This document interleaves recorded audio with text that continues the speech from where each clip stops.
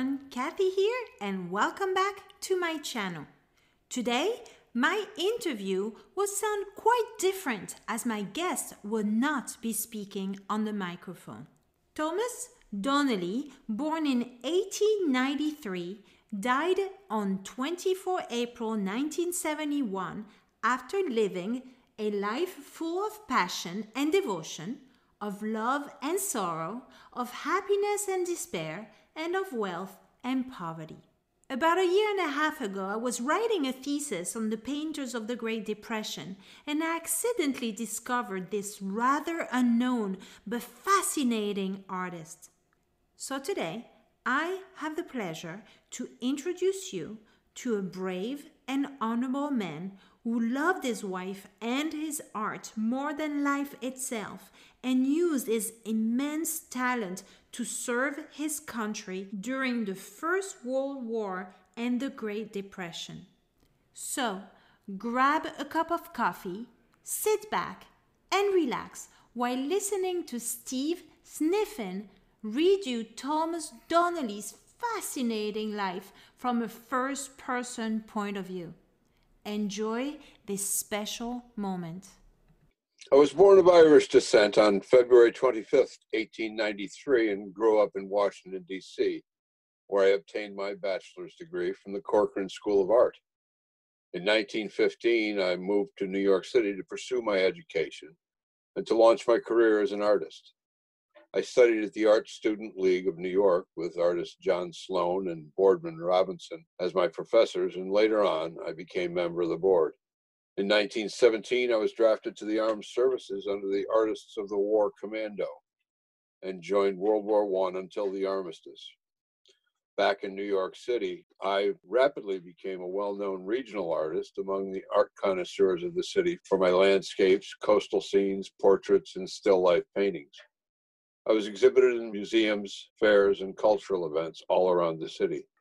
As a young and talented artist, I lived in an upscale apartment downtown Manhattan at 449 West 22nd Street for 16 years in the neighborhood called Chelsea's Best Block for its vibrant life and its proximity to the New York Art Gallery District. My work was exhibited at the Brooklyn Museum, Carnegie Institute, Corcoran Gallery of Art, the Art Institute of Chicago, New York Museum of Modern Art, and many others. And even though I was living the American dream in the heart of the city that never sleeps, I was also spending a lot of time in the suburbs where I would paint and find peace. My responsibility as a painter was to give tribute to nature and to bring the rural neighborhoods into the city. On a summer day of 1923, I drove through a little town located in the heart of Westchester County. I stopped my car near the Welcome to Valhalla sign, carefully sharpened my lithographic crayons and my charcoals, and slowly immortalized the village on a piece of paper. On this very same day, I fell in love with the little village of Valhalla.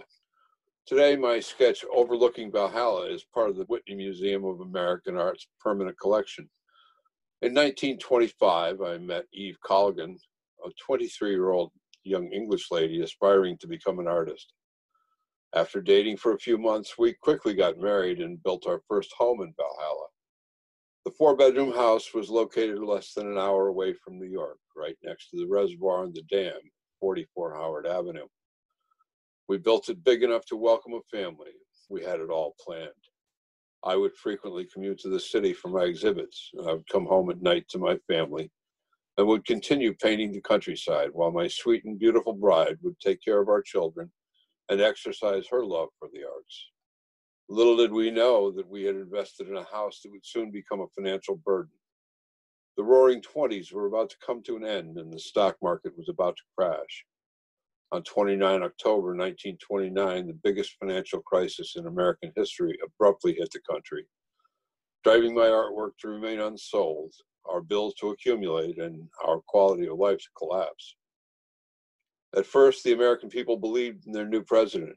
He was a self made man and promised that the crisis would not last.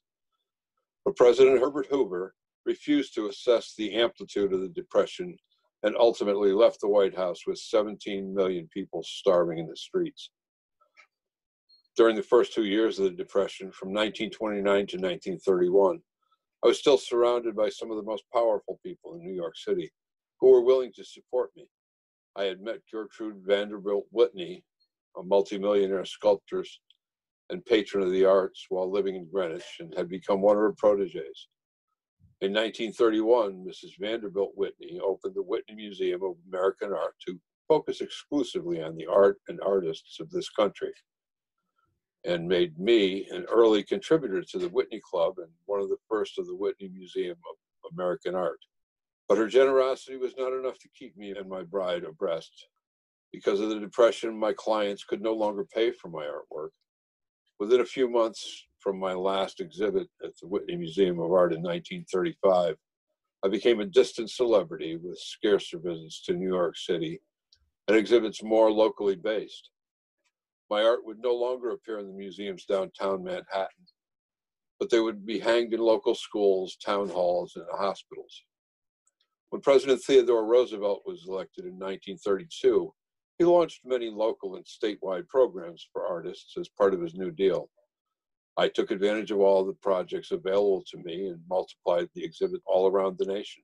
Among them, a Washington exhibition of 1934 displaying my landscape End of Winter which was later purchased by the U.S. Department of the Interior for the White House. In June 1934, I finally ran out of funds and wrote a desperate letter to Forbes Watson, the technical director in charge of the art program of the Work Progress Administration, and to President Roosevelt himself, begging them to implement a strong federal project that would replace the local programs and would truly help the struggling artists such as myself. My multiple letters did not remain unread, and when the Federal Art Project of the Works Progress Administration was finally launched in August 1935, I immediately became a proud federal employee. For $40 a month, my job was to embellish America and paint the American scene on public buildings. I also became a member of the American Congress of Artists and signed the Call for American Artists Congress in New York City to help preserve and develop the American cultural heritage. I gave art lessons to children in my community under the Federal Art Project and even gave exhibitions at the Model Girl Scout headquarters in New York. On April 23, 1938, the New York Sun gave tribute to my work, and I quote, There is no faddish nonsense in the landscape work of Thomas Donnelly, now on view in the Marie Harriman Gallery. It is straightforward, honest, and sincere. In addition, it is well painted in a solid manly style, and the methods of the painting are so well covered up that you do not think of them. I do not hear particularly loud praise of this artist as being shouted from the rooftops. This convicts us of hypocrisy. In 1939, I became an international figure when I was exhibited at the 19th International Art Exhibit in Venice and at the World's Fair in New York City. But when the Federal Art Project closed its door in 1943, I never went back to New York City as a famous artist, as my regionalist style was no longer in passion. Instead, abstract expressionism was the new genre of the after war with Jackson Pollock, Willem de Kooning, and Mark Rothko as their avant garde leaders, who painted subjective, emotional expressions. The decorative murals and canvas designed for the masses have been replaced by a new style called the all-over composition, with colors and forms floating in space.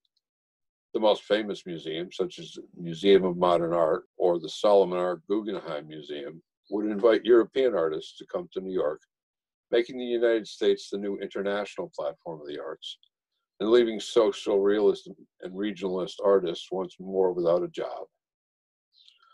On September 16, 1948, Eve, my sweet and beloved bride of 22 years, died at the early age of 45 years old, leaving me devastated. We were never blessed by children, so I felt alone in my big and empty house. From then on, I refused all invitations from the major institutions and became a part-time school teacher at Valhalla Public School and a jury in the local art contests, such as the Westchester Arts and Crafts Guild show in White Plains. I finally remarried 18 years later and transferred part ownership of my property to my second wife, Wanda. And at last, on April 24th, 1971, after a long and full life, I, Thomas Holman Donnelly, the World War I veteran, the talented New Yorker, the artist of the Great Depression, and the local resident of Valhalla, died peacefully at the age of 78 years old in my home. Within a few months, my widow sold my beloved residence and moved out of Valhalla. She did not leave much behind but a simple plate in Valhalla Cemetery, located as far away from Eve's headstone as she could. Today, my legacy resumes itself as a tombstone lost in the cemetery, a few olden murals washed out by the years, and two dusty boxes of documents stored in the archives of Syracuse University. And now, this podcast. Wow, Steve, that was so beautiful. Well, I thank you for the opportunity. And it's exciting for me. So well. because I'm, I've been through Valhalla, and it's a lovely town indeed. And I've I've learned so much, Cathy. It's uh, it's lovely, and it's wonderful to learn more of the history of it. And it's been a pleasure to be with you. Like Thomas Donnelly, tens of thousands of other artists struggled, survived, lived, and then strived during the Great Depression as their passion never died with the economic distress. They painted each day and tried new styles, genres, and technique. They exhibited their art in museums, schools, hospitals, and libraries. They became mentors, taught art to children and adults, and they made America colorful again, transforming the dark decade of the 1930s into the best memories of their lives. That's it for today. I really hope you enjoyed hearing about Thomas Donnelly as he became one of my very favorite painters. I do feel very humbled by his life and his passion for the arts, but above all, I can't help but feel captivated by his courage and his love for his sweetheart. Thanks again, Steve, for all your help. That was unbelievable. Wonderful. Thank you. If you are interested in participating in one of our future recordings, if you have questions, if you want to give tribute to one of your loved ones, or if you would like to share your adventure with us, please do contact me at bboneclody at gmail.com. Stay tuned for our next episode and always remember to love your life. Thank you, Steve. Have a great day.